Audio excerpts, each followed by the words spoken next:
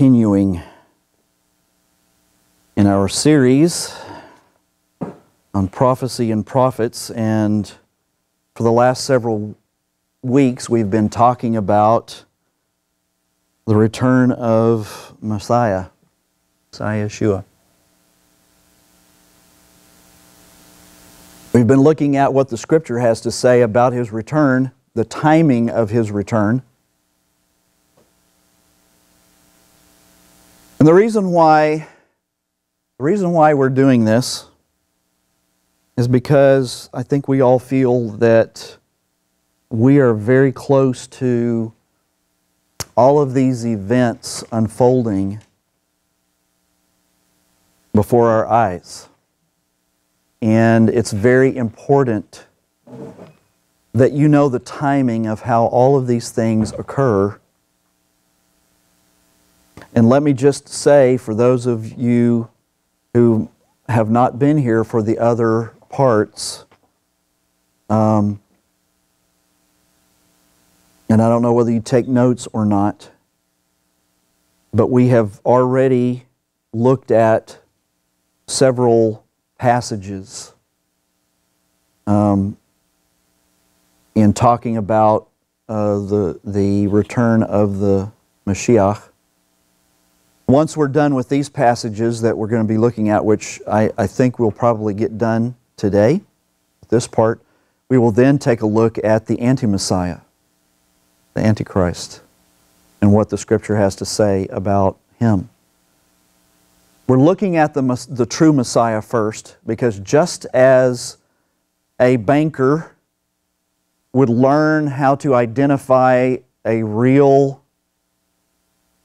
piece of money so that they can know what a counterfeit looks like in comparison. So, we are looking at the real first and becoming familiar with the real so that when the false comes, we will be able to know the false. Okay? And that's why this is so important. The church has historically taught a particular, uh, predominantly, not, not everybody, but the, the predominant um, belief in regards to the timing of how all of this works is something different than what that Bible actually says. Okay? And so we're, we're actually looking at what does the Bible say, not what do, do denominational traditions say about Yeshua's coming. Okay? And I, and I would just uh, repeat for the sake of those who have not been here before the concept or the, the doctrine or teaching that Yeshua will come twice. Uh, the first time he will come like in a secret coming where he just comes down in the sky and he takes all the righteous out of the earth. And then he actually comes back in physical form, touching down on the earth later. That is not found in the scripture. That concept is only approximately somewhere between 150 and 175 years old. It was developed uh, by a lady named Mary McDonald, who had, or no, not Mary, Margaret McDonald, who had a quote unquote vision. Okay? And then her pastor, and I can't remember what her pastor's name was, but if I, if I said it, you all would recognize the name. What's that? Darby. Yes. John Darby took this thing that she said and ran with it, began teaching it. And then Scofield liked the idea and he picked it up and he started putting it all throughout the Bibles that he was printing. And it became extremely pervasive throughout the West. Okay, now if you if you go to countries such as in Asia or in Africa, in places where where persecution is basically a way of life for many of them, you will not find this belief. Okay? Um, this is a, it's an escapist mentality that says that everybody that's good or right or whatever isn't going to have to go through anything bad. Okay? There's, again, there's no scriptural evidence of that. And that's what we've been looking at. In every place so far, the passages that we've looked at are Luke chapter 12, verses 30, 35 through 40. Luke chapter 17, verses 26 through 36.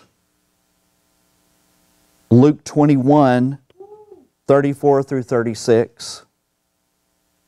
And Matthew chapters 24 and 25.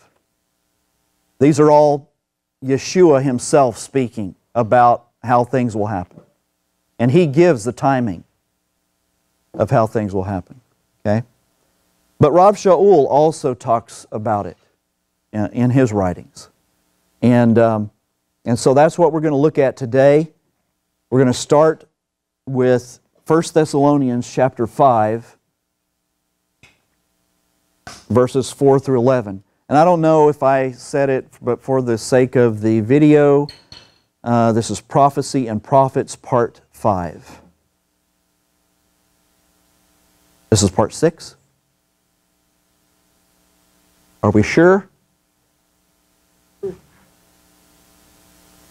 Part 6. Okay, sorry. Sorry, people watching on the video, part 6. All right. And the date today is October 25th, 2014. And the what?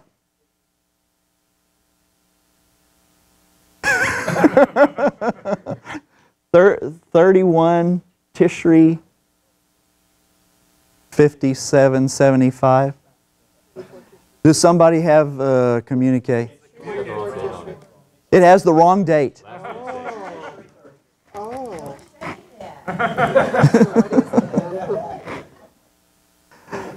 Does anyone have a calendar?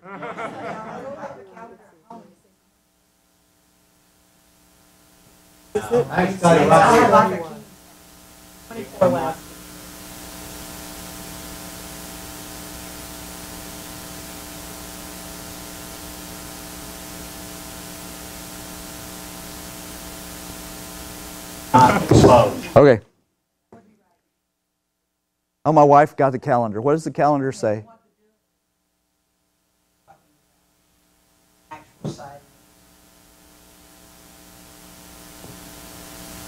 Okay. So, so this is 1 Cheshvan 5775 according to the calendar. Okay. Now that we got that out of the way, Let's go to the text. 1 Thessalonians 5 4 through 11. Now, before we begin reading through this,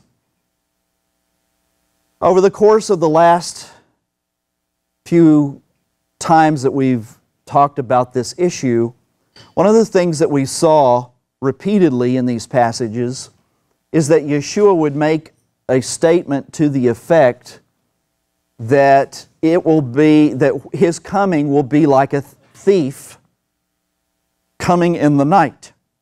Okay?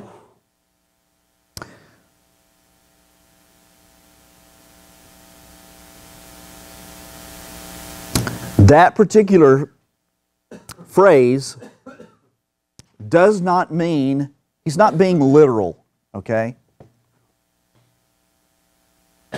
Why does he use this this phrase, coming like a thief in the night.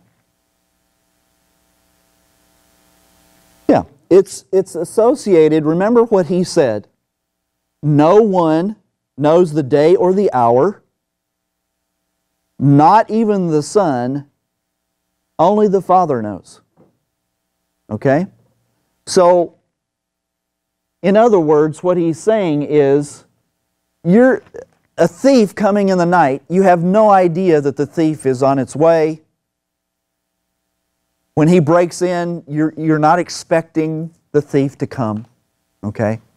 And so when Yeshua says this, he's saying nobody's going to know for sure exactly when this is going to happen. Okay? But you remember, I, I, we also talked about the fact that God has given us clues in the Scripture that let us know the general time frame. Okay? We may not be able to be specific, but we can know the time frame because of certain things, events, and so on that must occur in a certain order before His coming. Last Shabbat, we talked about the very fact that in His own words, Yeshua said to Jerusalem, as He was looking out over Jerusalem, You will not see me again until you say, Baruch haba b'shem Adonai. Blessed is he who comes in the name of the Lord. And we ask the question Are the people of Israel saying, in regards today, in regards to Yeshua, Baruch haba b'shem Adonai? Absolutely not. They are not ready for him. They, don't, they would not welcome him. So, is Yeshua coming tomorrow? No, he's not. According to his own words, the people of Israel first have to come to a place where they say, We welcome you before he'll come. Okay? Now, I have no idea what all is going to have to transpire to get them to that point where they actually say that. But according to his own words, are his words sure? Yeah. Yes. According to his own words, Yeshua is not coming back tomorrow. What's the, the address? Can somebody look that up for me? Okay. Because I don't know that off the top of my head. Okay, so anyway, he had said, My coming is going to be like a thief in the night. Now let's take a look at what Rav Shaul writes. He says, But you, brothers, are not in the dark, so that the day should take you by surprise like a thief. So, so if Rav Shaul is saying this, who was Yeshua talking to? If he said, My coming would be like a thief in the night. Yes. Matthew 23 39. Okay? Baruch haba b'shem Adonai. Blessed is he who comes in the name of the Lord. Um, so, who was Yeshua talking about or talking to when he made the statement that his coming would be like a thief in the night? What's that? Yeah. Anybody anybody who doesn't have a relationship with God through the Messiah Yeshua. It's going to like like Yeshua said in these passages that we just looked at in, in Matthew chapter 24, he said, At the coming of the Son of Man, it will be like the days of Noah, where people will be going about their normal lives, doing their normal things, and then suddenly it's going to happen and it's going to be totally unexpected. Just like with the, the flood. And is not it apropos that we're talking about this at this moment in time where the Torah portion is Noach? But Rav Shaul says, Brothers, you are not in the dark so that the day should take you by surprise like a thief. For you are all people who belong to the light, who belong to the day. We don't belong to the night or to darkness. What happens when it gets dark? What happens to us when it gets dark? We can't see. If you go out in the dark without a light source, you will not be able to see what is around you and what's going on. Okay? So Rav Shaul is saying, we don't exist in the dark. We exist in the light. We see what's going on. We see what's happening. So let's not be asleep like the rest are. Again, what is the, what is the situation when we're asleep? It's just like being in the dark. We're unaware of what's going on around us. Okay? On the contrary, let us stay alert and sober. People who sleep, sleep at night. And people who get drunk, get drunk at night. But since we belong to the day, let us stay sober, putting on trust and love as a breastplate, and the hope of being delivered as a helmet. Now, if you have a complete Jewish Bible, you'll see that at the end of that statement, there is the letter A, and down at the bottom you have Isaiah 59 17. It's a reference to a passage in Isaiah. We're not going to go there but it talks about, he's basically quoting from, from this section. That's why that, the words in that statement are uh, bolded. Okay? Now, what is this? What does it mean to put on trust and love as a breastplate in the hope of being delivered as a helmet? If you know, we just talked about the faithfulness of Noah. If we live in a place of obedience, relationship, intimate relationship with God, obedience and faithfulness to God, then it guards our heart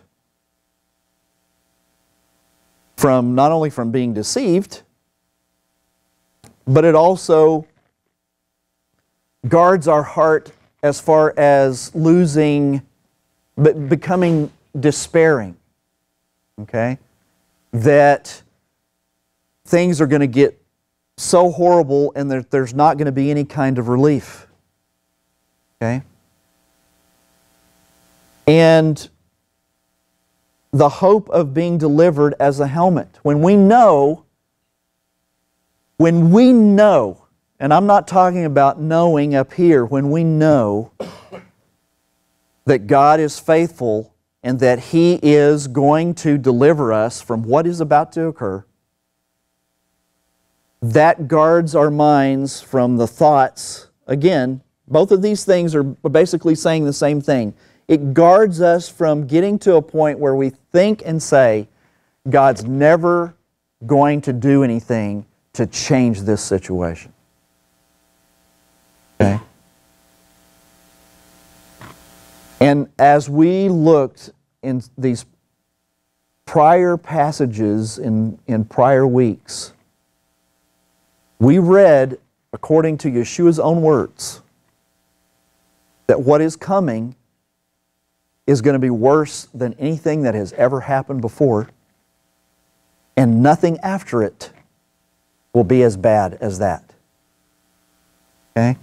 And I cannot imagine, with all the horrible things that have already happened in, our, in the history of mankind, I cannot imagine anything being worse.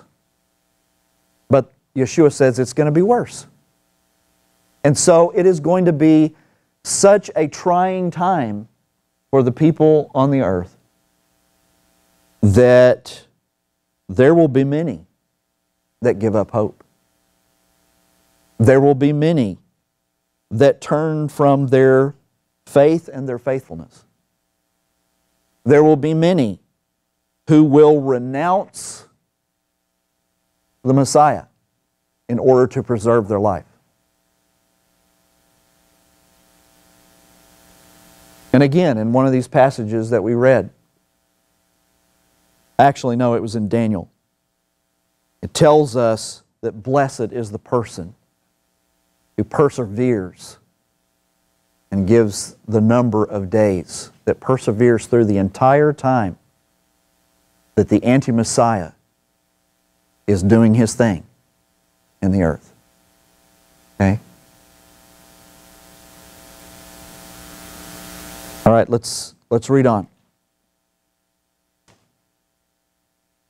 For God has not intended that we should experience His fury, but that we should gain deliverance through our Lord Yeshua the Messiah, who died on our behalf so that whether we are alive or dead, we may live along with Him. Therefore, encourage each other and build each other up, just as you are doing. Now, this passage, this verse, for God has not intended that we should experience His fury, but that we should gain deliverance through our Lord Yeshua the Messiah, is one of the proof texts that the folks like to use that believe in the pre tribulation rapture. Okay? They're, what, they what they say is what this means is that since we are not intended or destined to experience God's fury, then that means He will have taken us out of the earth so that we don't experience it. And we've already talked about this in the past. We talked about the model that God has used throughout the Scripture, and that is the, the main model that God basically instituted, I guess would be the best word to use, as a picture of redemption is the exodus of the people of Israel from Egypt. Okay? That's both our spiritual redemption, but also the physical redemption at the end. Okay? And in that scenario, the people of Israel had to remain in the land until all the plagues were done. But the thing is that in the midst of all of the suffering and so on that Egypt was experiencing, God was protecting His people in the midst of all of that. Okay? So they were not enduring the fury of God that was being poured out on Egypt. Okay? So just because this says that we're not intended to experience His fury and that we will gain deliverance through our Lord Yeshua the Messiah, that does not mean that we will not be here. Okay? And I, I want to recall to your mind something that I've said in the past.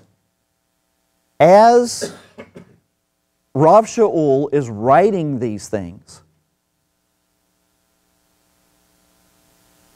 It's apparent from him and from the other writers of the Brit Chadashah, the New Covenant Scriptures, that they genuinely believed that they were living in the last days and that these things that they were writing about and talking about were going to happen in their lifetime. Okay? And so the imperative that is present in what they're saying, what they're writing, it's placed there because they believe that the people that they're talking to are going to have to endure these things. Okay? And so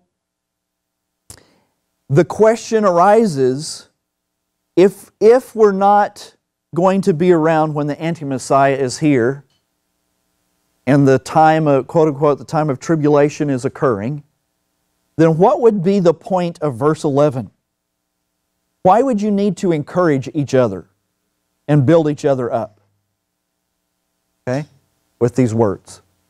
Okay? If you're going to be gone and you're not going to experience anything bad, there's no reason to encourage one another. Okay? We're all going to be gone. So, this yet again is another passage that lends itself to help us to understand that we're going to be here to endure some pretty hard stuff. But if all of the passages that we have read so far are not enough, then we're going to flip over a page to Second Thessalonians chapter 2 verses 1 through 12.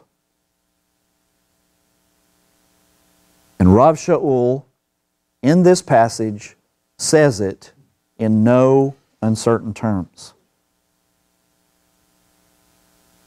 And the whole purpose that he's writing this is he says, I don't want you to be deceived. Okay? Second Thessalonians chapter 2 verse 1.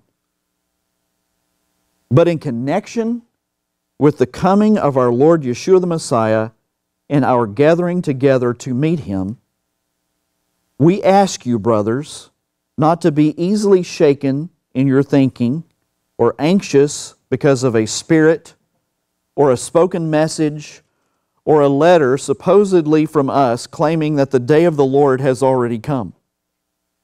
Don't let anyone deceive you in any way. Here's, here's the statement For the day will not come. What is the day? The day that Yeshua comes back. Okay? Remember, we talked about it's going to be one event, just like it was with Noah. When, the, when God shut Noah into the ark and the rain started coming, the rain destroyed the wicked and saved Noah and his family. It was one event. Okay? So, for the day will not come until after the apostasy has come, and the man who separates himself from Torah has been revealed. Who is the man who separates himself from Torah? The anti Messiah. Okay?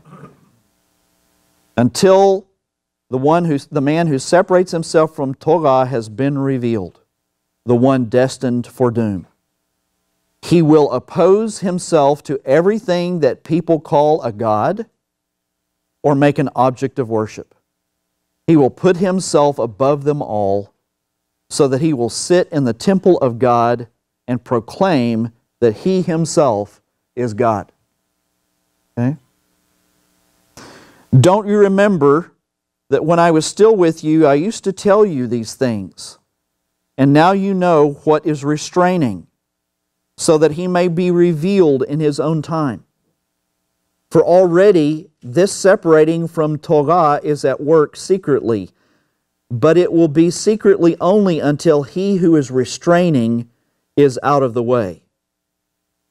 Now, does somebody have a King James Version Bible? Okay? May I use it?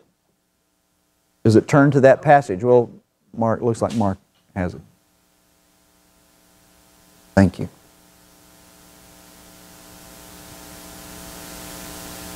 Verse 5. I want to read in the King James Version.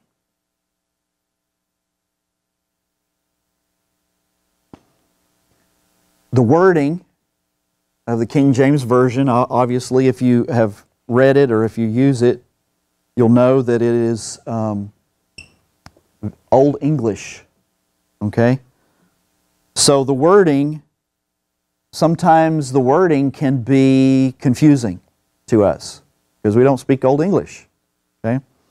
Says, which is a manifest token of the righteous judgment of God, uh, verse 5, that you may be counted. Whoops, I'm looking, I'm looking at the wrong place here. Oh, okay, chapter 2, verse 5. Remember ye not that when I was yet with you I told you these things, and now ye know what withholdeth that he might be revealed in his time, for the mystery of iniquity doth already work. Only he who now letteth will let until he be taken out of the way. Okay? The reason why I wanted to read it out of that version is because that is a favorite, again, that is another favorite quote by the people who who support the pre tribulation rapture. Okay? And basically, what they will tell you is that what this means is that the Holy Spirit is the one who is restraining all of these things from happening. Okay? And that when the when when Yeshua comes in the sky and raptures all of the believers, raptures the church, quote unquote, then the Holy Spirit goes with the church up into heaven, and the Holy Spirit is no longer down here on the earth. And because the Holy Spirit is taken out of the way, then evil can just run rampant in the earth. And that's their explanation for this particular passage. Okay? Well, obviously it is it is the Holy Spirit that is restraining uh, Hasatan from being able to do just anything and everything that he wants to do. Because there is a timing on the part of God for how all of these things are supposed to happen. Okay? If the Holy Spirit was to back off and say, okay, Hasatan, you can do whatever you want to, then Hasatan would try to force something to happen prematurely before God's time. Okay? And God's not going to allow that to happen. So there are certain things that have to take place first. Now, we've already established from previous passages that we looked at that that the anti-messiah will enter into a 7 year or will begin a 7 year some kind of covenant or agreement with the people of Israel. And at the halfway point, he will cause the daily sacrifices that have been going on in the temple, it will cause them to cease. Okay? It then tells us that he will proclaim himself to be God, that he will set himself up uh, a throne in the temple and, and rule from the temple as God, and that he will erect a statue uh, also in the temple. Okay? And so, according to according to what we have just read here in 2 Thessalonians 2, verse 3,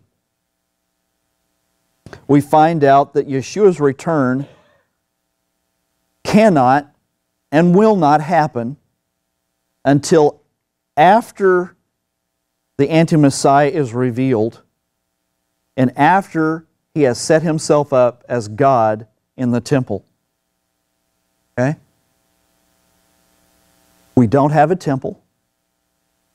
There are no sacrifices going on, therefore.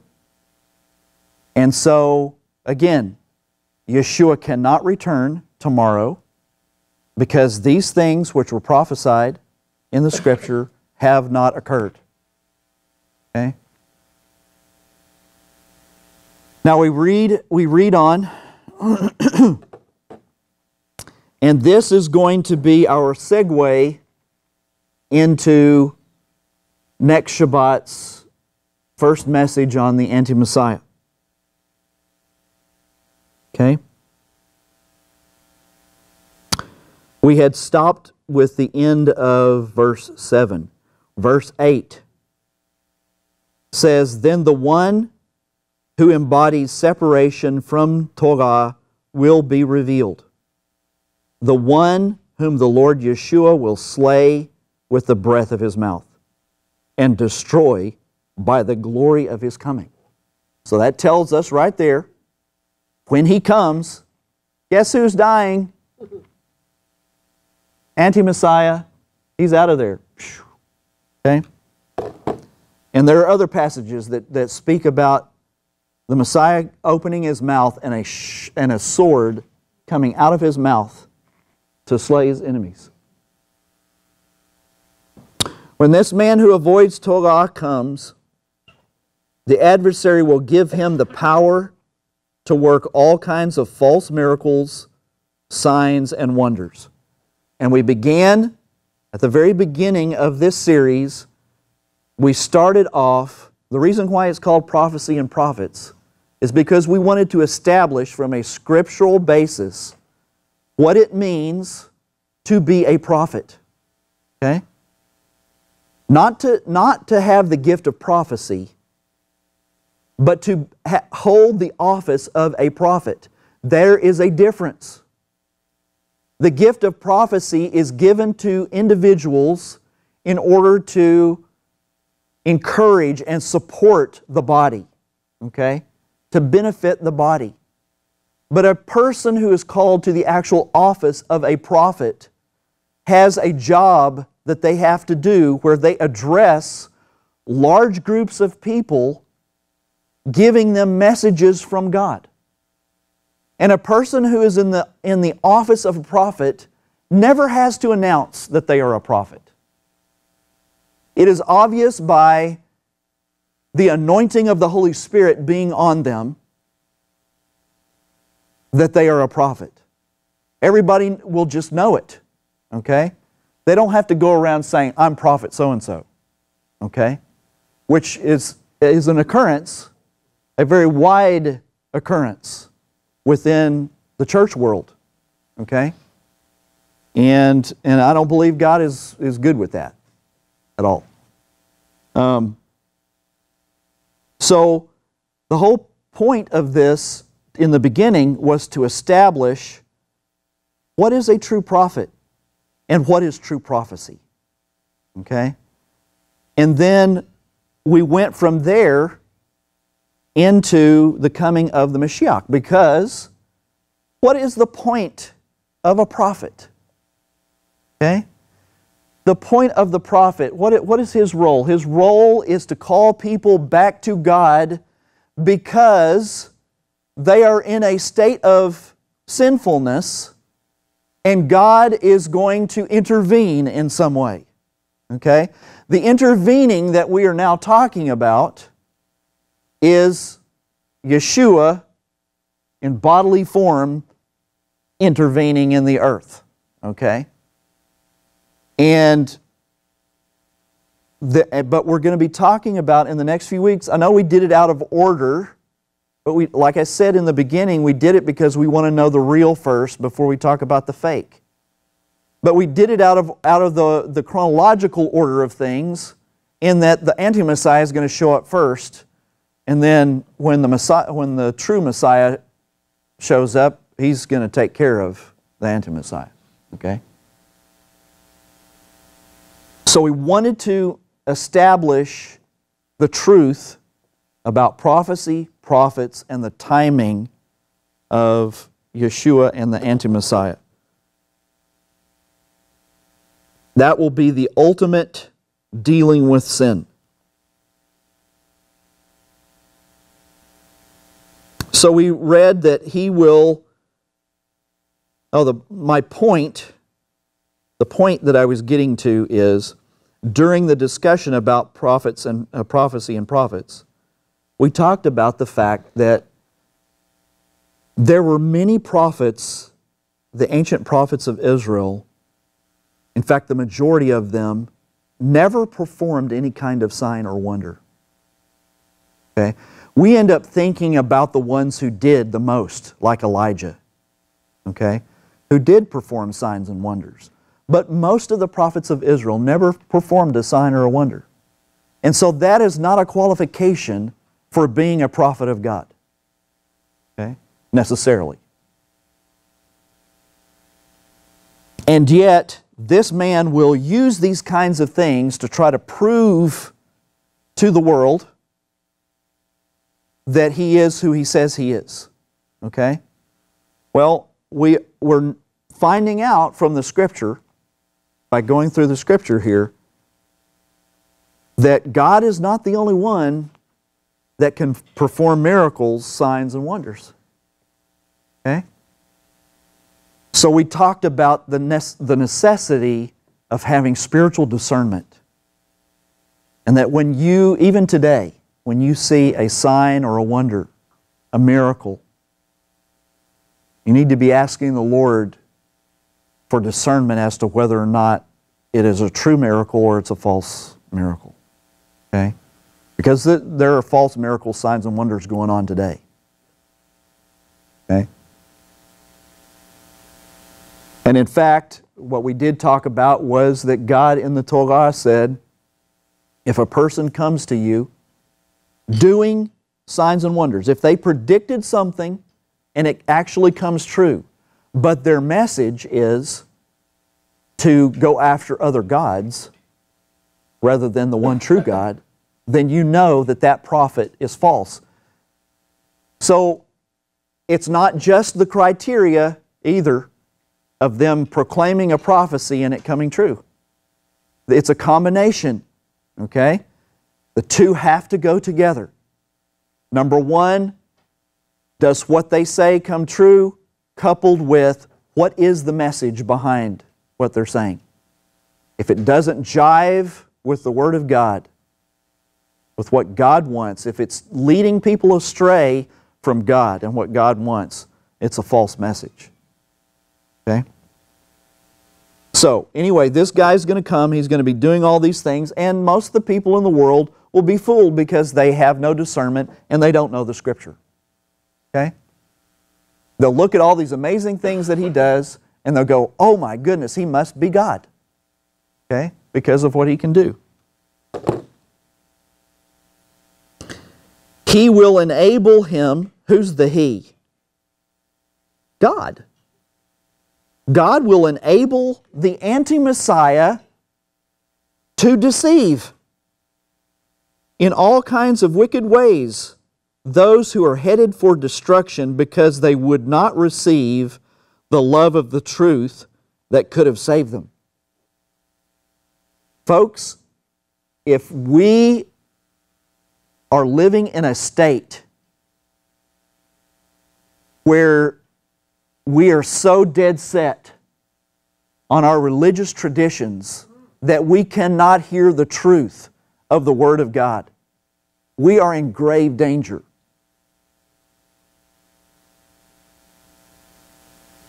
Danger of being deceived. And it says that the people who would not stomach the truth that could have saved them, they're headed for destruction. This is why God is causing them to go astray so that they will believe the lie. The result will be that all who have not believed the truth, but have taken their pleasure in wickedness, will be condemned. This is why he begins this section by telling us or excuse me, why he wrote in the section before, in chapter 5, he warned the Thessalonians, you guys need to be alert and sober. You need to be watching.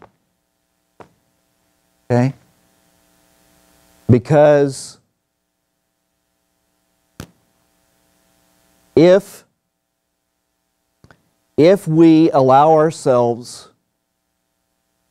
if we're not diligent, if we're not vigilant, if we're not studying the Word of God to know what it says,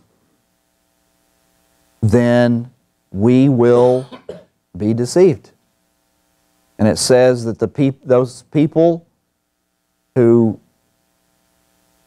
reject the truth will not believe the truth now, here's, here's the thing.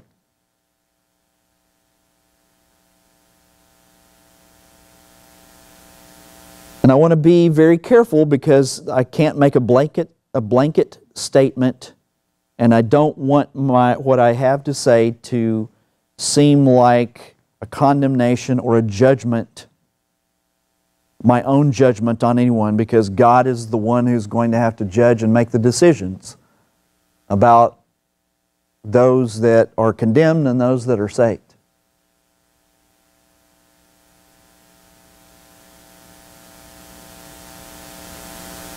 But verse 12 says the result will be that all who have not believed the truth, but have taken their pleasure in wickedness, will be condemned.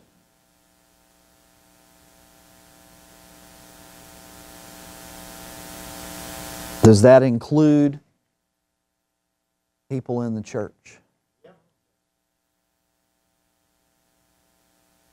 Yes.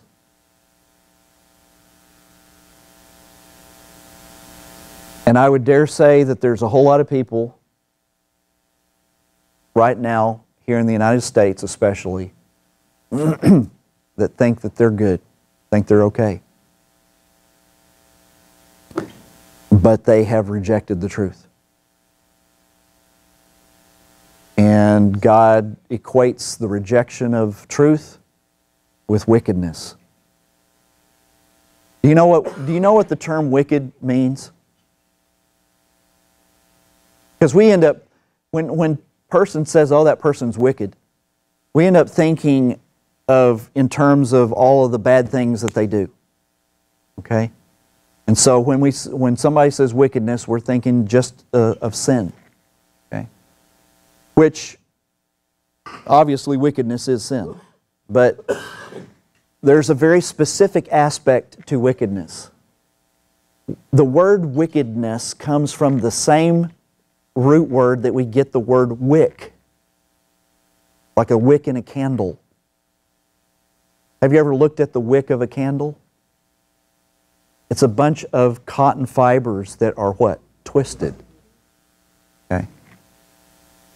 A wicked person is a twisted person. And how, how do we become twisted? If if we do not believe the truth, if we do not align ourselves with the truth. The truth is straight. Okay?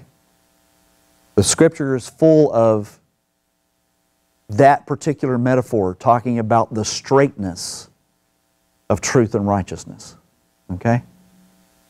So if we reject the truth, then what is the only alternative? If we're going to say there is no gray area, there's only black and white when it comes to the kingdom of dark light and kingdom of darkness. As soon as you reject the truth, you become twisted. You're wicked. Okay? So, again, the thing that I emphasized at the end of the message last Shabbat, I want to emphasize again. We all have friends, we all have relatives. We all have coworkers or schoolmates or whatever whom we know have rejected the truth. And they may even be churchgoers. But they've rejected the truth. It's not enough for us to look at the Scripture and acknowledge, well, they're condemned. The Scripture says that God's heart is that no one should perish. And so we need to be praying. Praying for our friends, our relatives that have rejected the truth, that they will receive the truth that they will no longer be wicked, that they will no longer be condemned. And when we get the opportunity, and I'm not talking about shoving things down people's throats, but when we get the opportunity to live the truth and speak the truth to those people, we need to take it. Because their very eternal existence depends on it.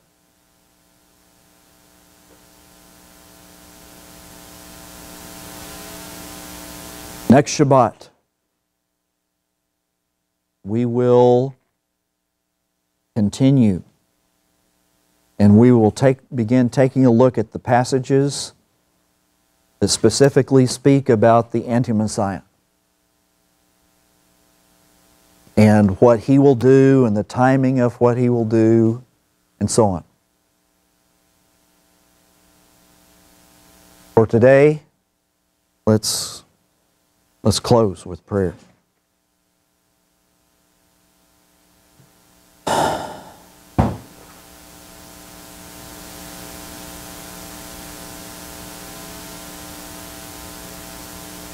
Yet again, Father, I pray, as I did at the beginning,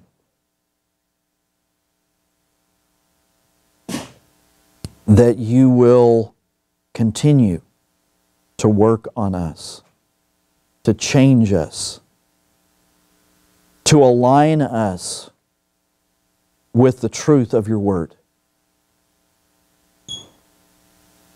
Father, this congregation has been challenging the religious sacred cows for, well, since the beginning.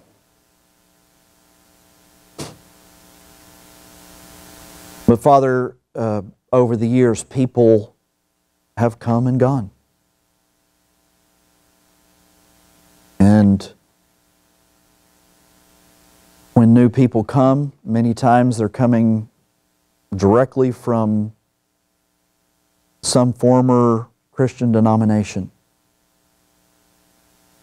And Father, we, we pray for all of our brothers and sisters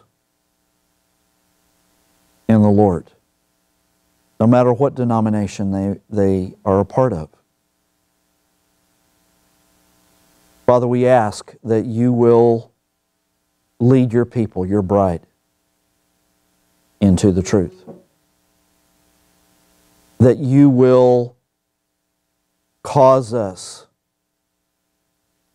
to be aligned with you and with your words. Father, that there would be no wickedness amongst us, no twistedness, but that you would make us straight.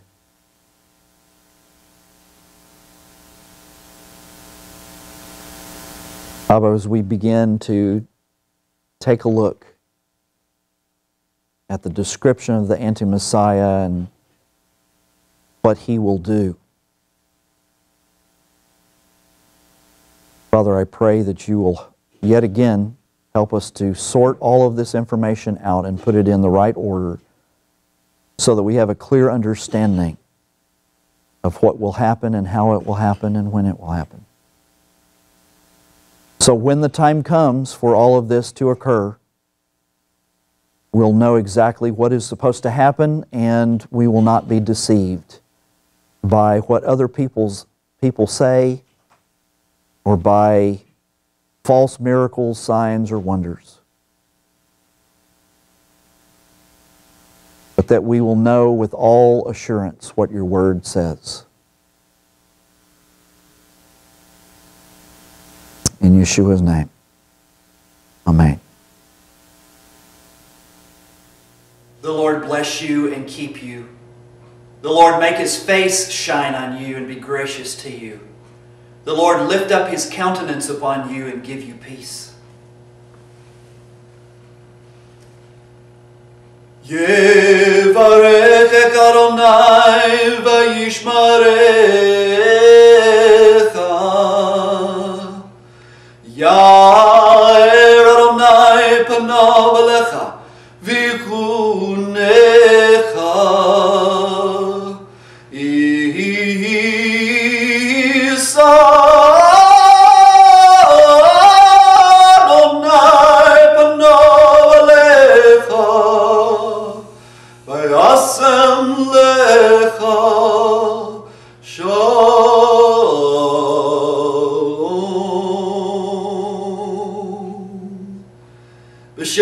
Mishikenu, Adonenu, Tzidkenu, Yeshuatenu, Sar Shalom. In the name of Yeshua, our Messiah, our Lord, our righteousness, our salvation, the Prince of Peace. Amen.